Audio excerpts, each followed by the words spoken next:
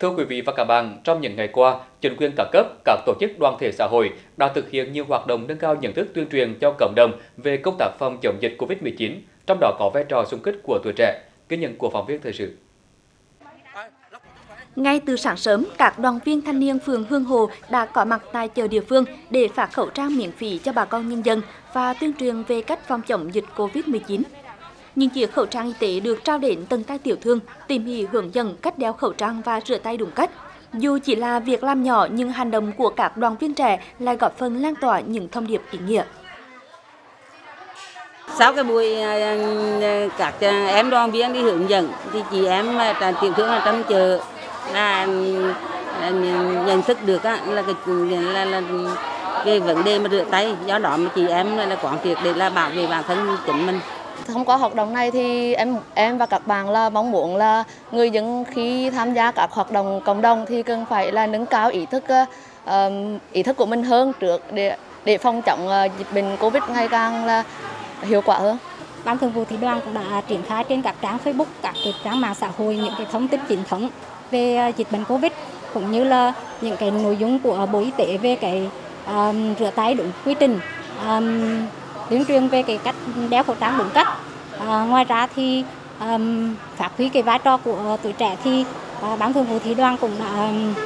in những cái tờ rơi về uh, phòng chống Covid để um, truyền tải đến cho các cái ban đoàn viên thanh niên um, tại địa phương uh, cũng như là uh, trang bị một số cái khẩu trang kháng khuẩn uh, dung dịch rửa tay kháng khuẩn uh, về cho các bạn đoàn viên thanh niên tại các chi đoàn dân cư. Không chỉ tuyên truyền phòng chống dịch cho bà con nhân dân, đối với những chiến sĩ ở tuyến đầu, công tác phòng dịch càng phải được chú trọng hơn. Hàng trăm chiếc khẩu trang y tế, nước rửa tay đã được trao tặng cho những cán bộ chiến sĩ tại từng địa phương, các đơn vị tiếp xúc trực tiếp với những đối tượng cách ly, người từ vùng dịch về. Qua đó góp phần mang đến sự yên tâm, là nguồn động viên khích lệ để các chiến sĩ nơi tuyến đầu hoàn thành tốt nhiệm vụ được giao. Phường Phổ Hội là một địa bàn trọng điểm, là tập trung là nhiều cái lượt khách du lịch trong và ngoài nước để tham quan và du lịch và lưu trú lại tại địa bàn. Thì trong như vậy thì à, cán bộ chiến sĩ công an phường Phổ Hội là thường xuyên tiếp xúc với à, với lượng khách đó nên là nguy cơ lây nhiễm à, dịch Covid-19 là rất cao. Thì nhận được sự quan tâm của đoàn thanh niên và hội phụ nữ công an tỉnh đã trao tặng cho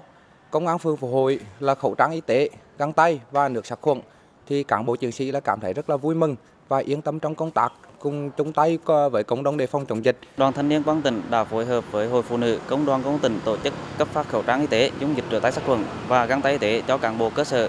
thuộc công an các phường trên địa bàn thành phố Huế cũng như các huyện thị xã. Qua đó à, góp phần cùng toàn lực lượng phòng chống dịch Covid hiệu quả, đảm bảo sức khỏe cho cán bộ chiến sĩ hoàn thành tốt nhiệm vụ được giao. Bên cạnh đó, đoàn thanh niên công an tỉnh cũng đã kịp thời phát động tổ chức đợt hiến máu tình nguyện trong đoàn viên thu được hơn 200 đơn vị máu để phục vụ cấp cứu, điều trị kịp thời cho bệnh nhân trong thời điểm tình hình dịch Covid đang diễn biến phức tạp.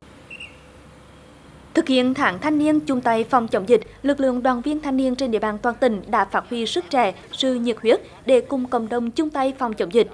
Với nhiều việc làm ý nghĩa được triển khai, lực lượng đoàn viên thanh niên đã một lần nữa khẳng định vai trò và trách nhiệm của mình trong công cuộc phòng chống đại dịch để chung tay cùng cả nước đẩy lùi dịch bệnh COVID-19.